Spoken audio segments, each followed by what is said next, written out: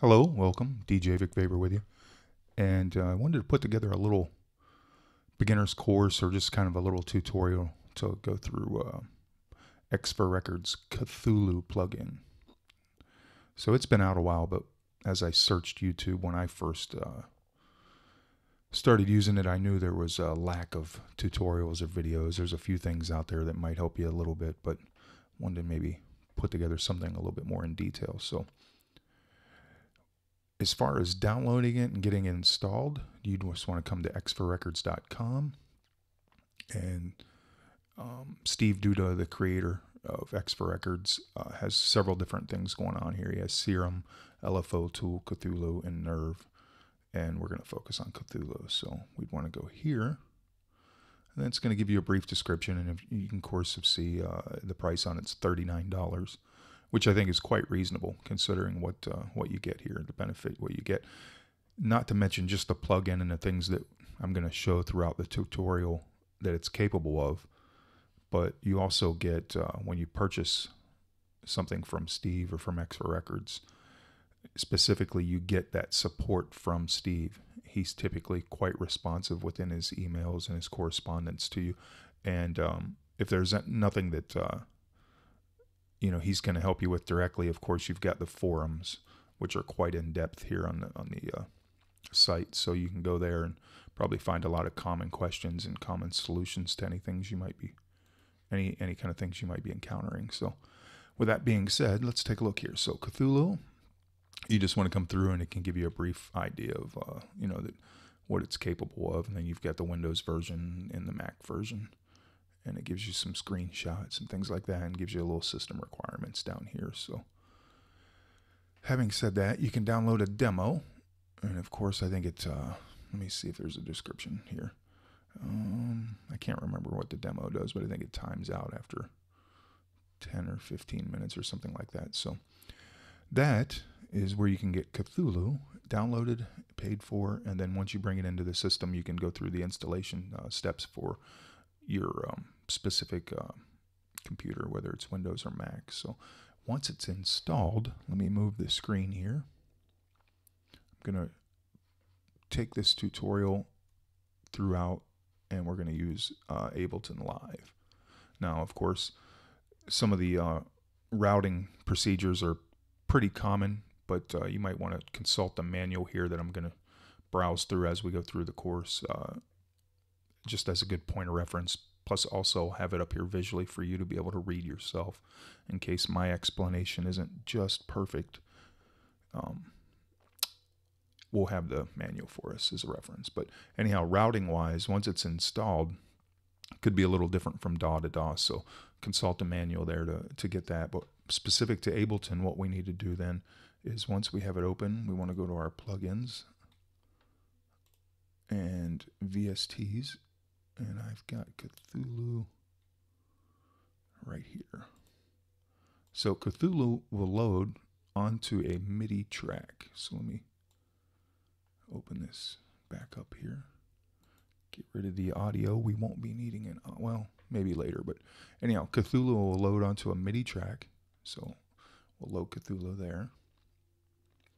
And I am going to load one more MIDI track. Let me get rid of that reverb, send, and delay. I don't need that.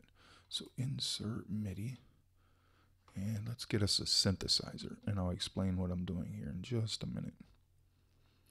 Let's keep everything into family and let's get Serum involved. Another one of Xfer Records products that you may have noticed on that page. So let's just go down to, know, we'll just grab any old random Let's do that one. I don't know what it sounds like, but if it's annoying, we'll fix it later. All right, so back to er, back to Cthulhu. I'm sorry. When it first opens, once you have it loaded, installed, and then you select that out of your VST, when it first opens, you, you notice right away that you get a header up top here with the name, Xfer Records, things like that. Uh, one button for chords and one for the arpeggiator. We're going to turn the arpeggiator off and now it just gives us this panel here. It kind of takes it and makes it a little smaller there. We're going to start focusing on chords right now, though, and then we'll move towards the arpeggiator next. this little speaker button indicates that Cthulhu will put out a sound, but that's not its primary function. It's more like a test tone, um, probably a little saw wave or something. It's it's nothing too musical, unless that's kind of the sound you're looking for. I don't know. I'm going to actually click on the speaker and turn it off because what our goal now is is to send the MIDI from Cthulhu to Serum. And that's basically the function of this. Cthulhu is a chord generator, an arpeggiator.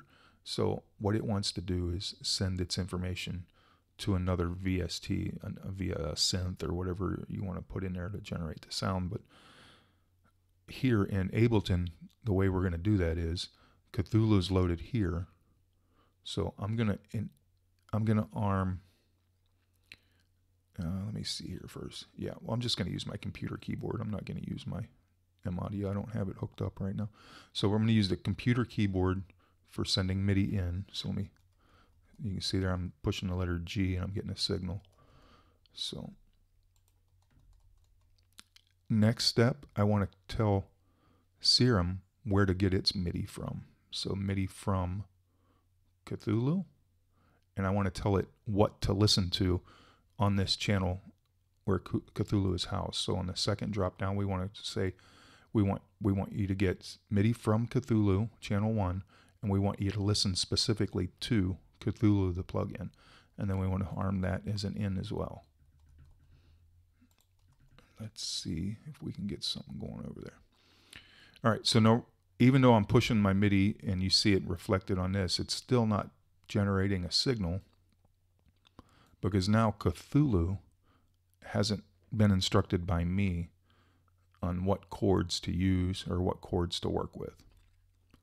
And that set is right here, chord presets. So let me go ahead, click on that. And then it, this is what comes loaded with Cthulhu. You've got some Bach chorales, some you know diatonic stuff, classical stuff, and some different audio stuff. But we're just going to grab one of the Bach chorales. And what that is is you push one note, and it's going to give you a sequence of four notes in response to that note. And now we're getting our sound because now it has chords to generate with. So I'm pushing my computer keyboard, the letter G, it's sending that information over to Serum in the form of this chord that's lit up on the keyboard. This note, this note, this note.